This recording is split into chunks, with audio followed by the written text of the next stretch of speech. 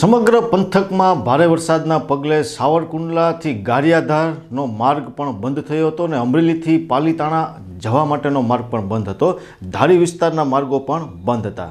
ફિફાદ ગામ નજીક પૂરના પાણી રોડ પર આવી ગયા હતા, જેને કારણે વાહન વ્યવહાર બંધ થઈ ગયેલ હતો. તો બીજી બાજુ અમરેલી જિલ્લામાં વરસાદી તારાજીના પગલે લીલિયા તાલુકાના હિંગોરાળા નજીક ટ્રેક ધોવાઈ જતા રેલવે તંત્ર કામે લાગ્યું હતું. રેલવે વ્યવહાર ખોવાઈ ગયો હતો અને રાતથી ટ્રેનોમાં પૈડા થંભી ગયા હતા. રોજની પંદર ગુડ્સ ટ્રેન અને ચાર પેસેન્જર ટ્રેન બંધ થઈ ગયેલી જાણવા મળ્યું છે.